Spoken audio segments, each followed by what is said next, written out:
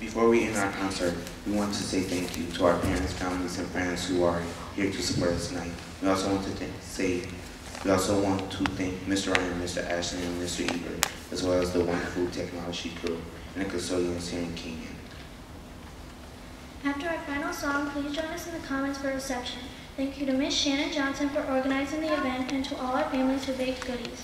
Our final combined piece is I Am a Small Part of the World. The lyrics teach us that if we work together, we can do great things.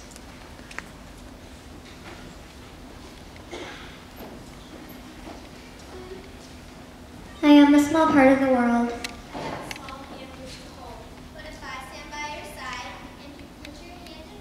Together we can be strong and bold.